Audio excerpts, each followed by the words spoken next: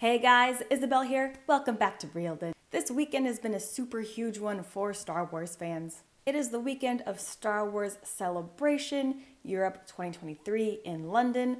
I unfortunately cannot be there, so I hope all you guys who can are having an awesome time. But today we got a really big panel for the Ahsoka series. And even though I wasn't in the panel, I was still able to gather some updates on the show that I'd like to share with you guys. So again, since I wasn't actually able to be in the panel, these will not be in-depth details of what was going on, just more bigger picture information and uh, just something to look forward to as the show gets closer. Now, this show, Ahsoka, is one I am super excited for. I reacted to the trailer yesterday, so if you guys want to check that out, feel free. But it looks so amazing, and it just seems like everything that I grew up with Star Wars is just gonna all come full circle, and I'm super excited to watch it. Ahsoka is one of my favorite characters, and uh, I can't wait to see her do her thing in live action. But starting off the panel, Dave Filoni and Jon Favreau took the stage, followed by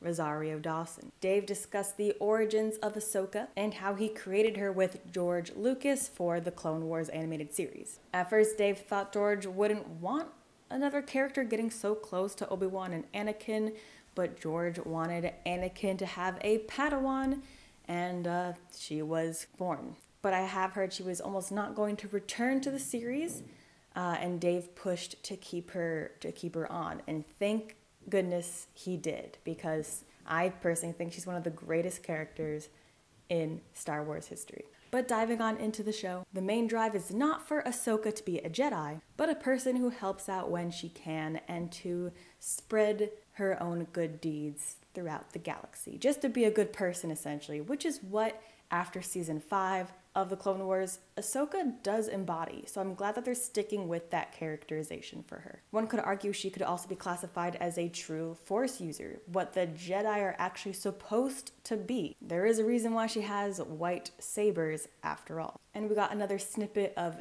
Ezra. Rosario mentioned that Ahsoka's relationship with Ezra is a very powerful one, since we probably won't get him interacting with anyone from the main group until the end of the series, if that's what's gonna happen, uh, I'm sensing some visions on Ahsoka's part. Maybe maybe we hear Ezra's voice in her head a little bit. They communicate that way, so that'll be interesting to see depicted. I'm actually not too sure how they will do that. And in regards to Ahsoka's character design, there is a great improvement as there has been a significant advancement in technology since the second season of The Mandalorian. Ahsoka's lekku will now be a synthetic skin stretched over a 3D model, as opposed to the foam contraption that it was in The Mandalorian, which is awesome. I know she's gonna look amazing, and I'm really happy that they took the Star Wars fans' critiques into account and uh, switched up the look because I am I'm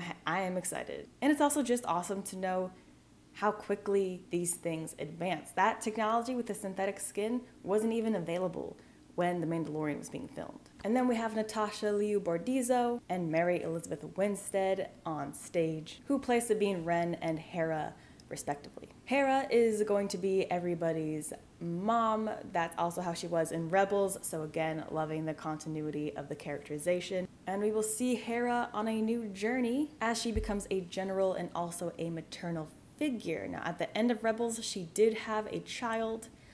I'm not sure if that will be in the Ahsoka series. I don't know why it wouldn't be if we're also following Hera's storyline but I am also excited to see her rise to being a general. And of course, you can't have the Rebels gang if you don't include Chopper. He will definitely be in the series. He has beef with other droids, as we saw in Rebels. He gets distracted easily and apparently hates loth cats. So not not at all a, change from the animated series. But it will be fun to see him in live action.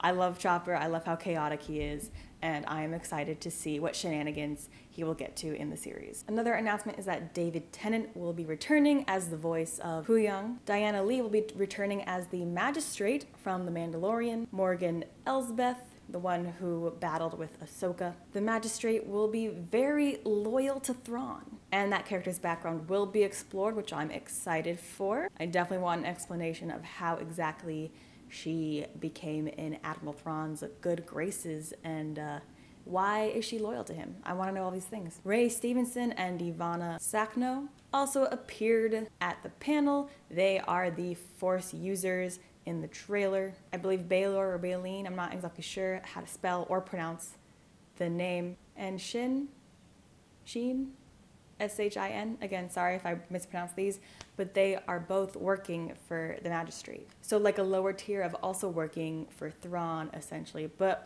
and from the trailer, we see that they are quite the opposition for Ahsoka. But Ahsoka has taken on, I feel like, much more powerful Force users. So I'm confident in her abilities. And then we get the directors for Ahsoka, Dave Filoni, of course. Peter Ramsey, Geeta Patel, Rick Famuyiwa, Jennifer Getzinger, and Steph Green. And again, the composer Kevin Kiner will return. He also did Rebels and the Clone Wars animation. The Ahsoka series has now been confirmed to have eight episodes in total, so very similar to The Mandalorian. I'm excited. I wish it was more personally, but you know, I will I will take what I can get. And we now have confirmation of who is playing Thrawn, Lars Mikkelsen. He's also another one who has played quite the number of villains in his career, and he has that sort of subtle quietness that I think will be really great for Thrawn's character, which leads me right into my next point of conversation. Timothy Zahn, the author of the original Thrawn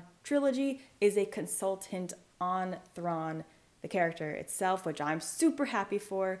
The Thrawn trilogy was the first ever novel Star Wars media that, besides the movies and shows, that I read. You know, Filoni wants to get Thrawn right, so he brought in original source material.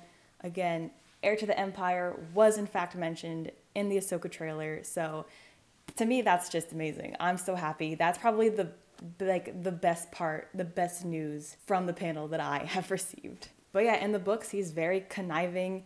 He's always one step ahead of everyone else. I think the way he used art to know the secrets about someone's civilization was explored much better than in Rebels, personally. Yeah, and he just I'm so excited. It's it's gonna be so good.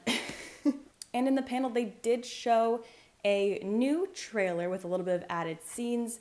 Uh, that was not made public, that was for the panel goers exclusively.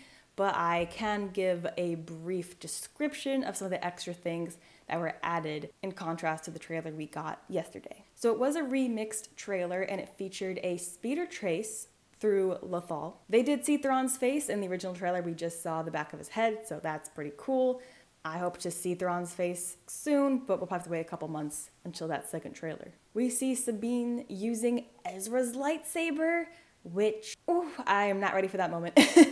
and we do get some Purrgils. Purrgils played an important part at the end of Rebels. That's how Ezra disappeared. And we did see a shadow of them in one of the earlier episodes of The Mandalorian. So they're coming back. They're coming back. And I am excited to see them and learn even more about them. But that's all I got for you about the panel. That was what was discussed. They did not live stream the panel just yet as I'm recording. I don't know if they will later today, but I want to get that information out for you guys so you're as well informed as you can be. Also, another thing to mention that I actually did kind of forget about is that Ahsoka takes place during the same time as The Mandalorian. She was in the second season. I don't know why I forgot about that but just something to think about. We don't know what might be hinted at in The Mandalorian, could also play a part in the Ahsoka series, you know, as well as keeping in mind that you have to maintain continuity. That is a big thing for Dave Filoni is maintaining continuity, as he, he said in an interview during Celebration. So I'm excited.